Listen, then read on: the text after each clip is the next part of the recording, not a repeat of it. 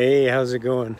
You ever have these technology gigs, snafus, glitches, whatever? I sometimes have them and I'm going through one today. So I buy this external hard drive. And the problem is you get these iCloud Drive and Google Drive and Dropbox and you have all this crap up there and you start to get full. So I want to get it off of there so that my other stuff will work correctly.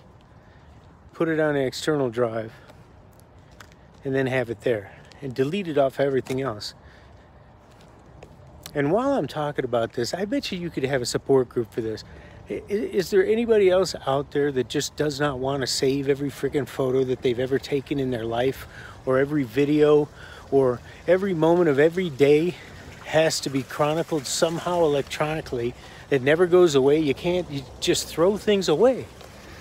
It's it's nuts.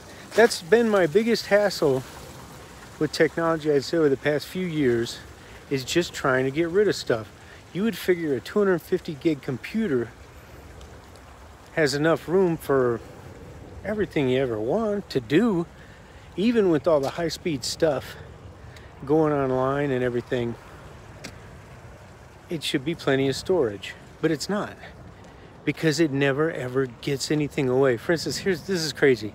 Go on my iCloud Drive, and it says I have 130 gigs of documents. So I look in the documents folder and it's empty. And I'm looking all over the place and I cannot find documents.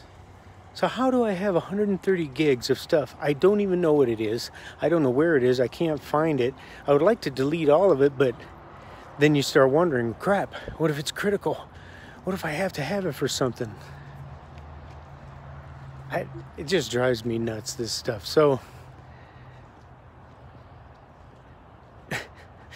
I don't see how this is this is just a talking about what hassles I'm having with my technology, particularly storage, and wondering how many people, am I the only one that has this going on? It's crazy. Now, in your marketing, you want to save all of your videos, all of your writing, everything that you do, and you have to have it organized someplace that you own. And that's why I like the external drives because shoot, you could take that drive and put it in a safe deposit box if you wanted to, and you'd never lose any of your stuff, which is helpful. For instance, if you're putting videos up on YouTube and you get your account shut down, I've seen this happen to very reputable people, and I don't know what, I get just someone complains or something, and there they go with five years of videos with millions of views completely wiped out. And that's why you can't build your business on free platforms like that because they can wipe you out at a whim.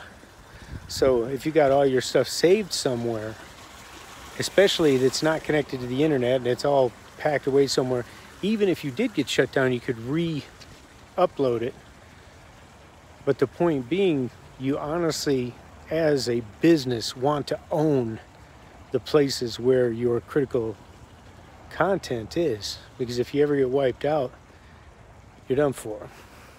So that's why I spend the time to find out about putting stuff on external drives and not everything all up in the cloud because it's really something you don't own and I know a lot of people like to say if you're paying for your hosting, they can't shut you down. It's not true. They will shut you down. And I'm not saying you got to run your own host, but when it comes down to your content, find a way to secure that it's not on one of these clouds. The rest of the time you can use it on the cloud, but you got to have something backing it up. Imagine you build yourself up to hundreds of thousands of dollars a year and all of a sudden all your stuff's gone. Something to think about. Anyway, that's all I got from the land of struggling with the external drive. I'll talk to you tomorrow. I'm out.